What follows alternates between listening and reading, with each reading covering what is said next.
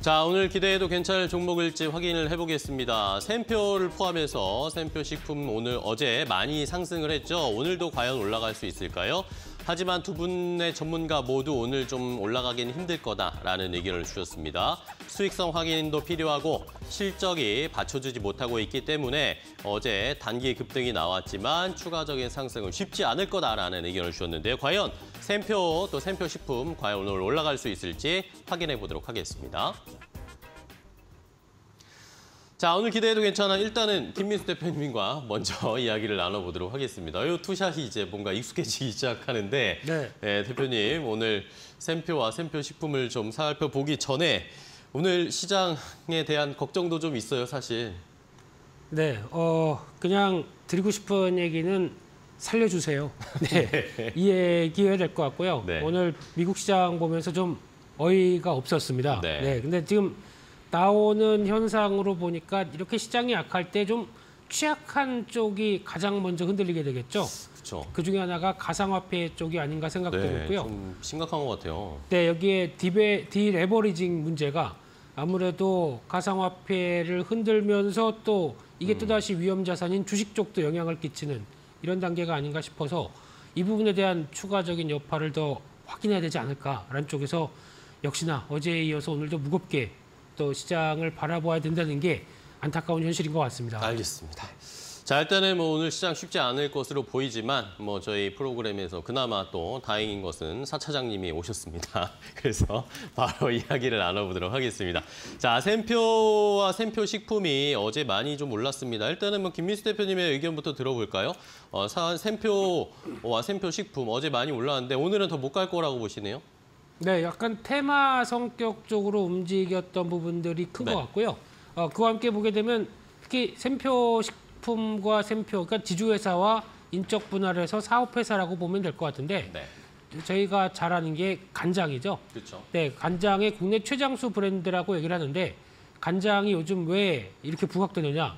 어제 또 돌아다니는 뉴스를 보게 되면 음. 물가가 이렇게 오르다 보니까 음. 게다가 또 주식은 다 손해가 크다 보니까 그렇죠. 그냥 간장에 밥 비벼 먹는 게 최고겠다. 뭐 이런 쪽에서 진짜예요? 예, 또 슬픈 현실이 또 나오고 있고요. 네. 어, 그런 쪽에서 점유율, 뭐 간장, 된장, 고추장 이런 전통 장류 쪽에 강자로 나오면서 또 이제 요리 에센스, 뭐 연두 이런 쪽이 또 유명하죠. 음, 그래서 어, 이런 조미식품이나 국수 통조림까지 이제 가공식품까지 확대가 되기 시작하면서 어, 시장에서는 이제 전통적인 음식료 업체로 알려져 있는데 게다가 어, 약간 좀 올드한 이미지가 있다 보니까 네. 이를 탈피하기 위해서 이제 브랜드 변화를 가져가죠. 그런 쪽에서 프리미엄 브랜드 폰타나 어, 음. 예, 이 또 한번 또 광고를 통해서 알려지기 시작했고요. 네네. 질러라고 하는 저거 맛있긴 한데요. 예, 어, 저거 어, 어떤 어, 관련된 쪽과 티아시아 키친 뭐 이제 소스 쪽이죠. 네. 이런 쪽에서 여러 가지 확대를 이어가고는 있지만 이제 가장 중요한 게 이런 곡물 가격 상승하면서 그에 따라서 제품 가격을 같이 올리다 보니까 네. 그에 따른 수익 기대감이 계속 나오는 대표적인 음식료 업체라고 보여져도 여기서 이제 곡물 가격이 더 오른다. 같이 또 가격을 올리게 되면은 수요의 저항도 나올 수가 있겠죠. 음. 그렇기 때문에 어, 만만하게 바로 바로 올릴 수는 없다라는 쪽에서 아무래도 그렇게 되면은 비용이 늘어 그러니까 어, 어떤 비용이 상승하면서 그를 제대로 커버를 못하는 현상들이 나올 것 같고요. 어, 게다가 또 음식료 업체들은 대부분이 수입 업체입니다. 그렇죠. 근데 원화가 이렇게 약세 폭이 커진다. 이게 썩 그렇네요. 예, 좋은 모습들은 아닐 수 있겠다라는 쪽에서 앞으로에 대한 부담감도 물론 있다라는 쪽과 함께 물론 이제 1분기 실적을 보게 되면은 매출액은 늘었는데 영업이익이 샘표 식품 기준으로 보게 되면 네네. 어, 매출액은 늘었는데 영업이익이 한 20% 정도 줄어듭니다. 이게 판가에 대해서 곡물가 상승을 관리를 잘 못한다라는 쪽으로 바라볼 수밖에 없기 때문에 이 부분에 대한 해답은 아직까지는 어떤 테마주 성격 쪽 외에 실질적으로는 실적이 그렇게 썩 좋지 못한 부분들도 체크해야 된다 이렇게 바라보고 있습니다. 알겠습니다. 자, 일단은 샘표 어제 어려운 시장에도 불구하고 급등세가 나왔지만 수익성 확인을 해봐야 한다라는 의견을 주셨고 자, 사차장님도 오셨습니다. 네. 사차장님은 어떻게 보세요? 어, 네, 저도 뭐 비슷한 의견입니다. 조금만 더 이제 덧붙이자고 하면 네네. 러우 사태 일어나면서 지금 5월 초에 세계 각국에서 식용유 구매 개수를 제한을 하겠다. 라고 얘기가 나왔었습니다. 실제로 영국의 어떤 마트에서는 뭐 1인당 3개 이런 식으로 제한을 했었고요.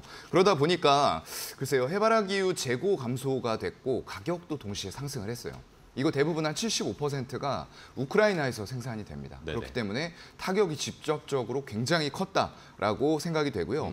그런 관점에서 이제 샘표라던가 말씀해 주신 대로 신송홀딩스 이런 어떤 대두를 원료로 하는 이런 쪽들 그런 쪽들이 굉장히 좀 크게 어, 영향을 받았던 것 같고요. 샘표는 이제 지주회사입니다. 네. 밑으로 샘표 식품이 있고요. 지주회사기 때문에 자회사의 배당 수익, 브랜드 수익, 그리고 임대 수익 이런 쪽들이 주로 매출로 잡히는 곳이고요.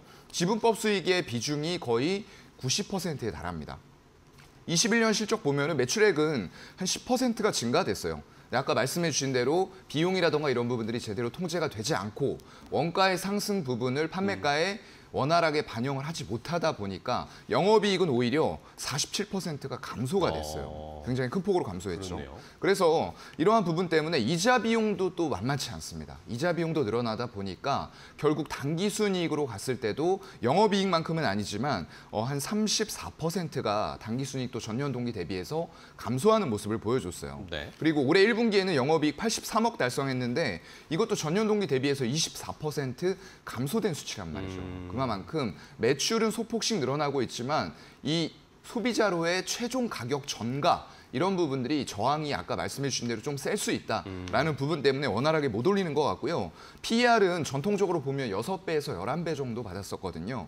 이런 부분들이 지금 최근 4천 원대 이제 바닥 지지는 받았어요. 그러면서 어제 거래량 폭발하면서 엄청나게 시세를 줬는데요. 결국에는 121선, 120주선 저항에 다 막혔거든요. 네. 기술적으로 막혔기 때문에 모멘텀 지속되면서 차라리 5,300원, 120주선 부근 돌파하면은 매수해 보는 것도 전략이 될 것 같습니다. 알겠습니다.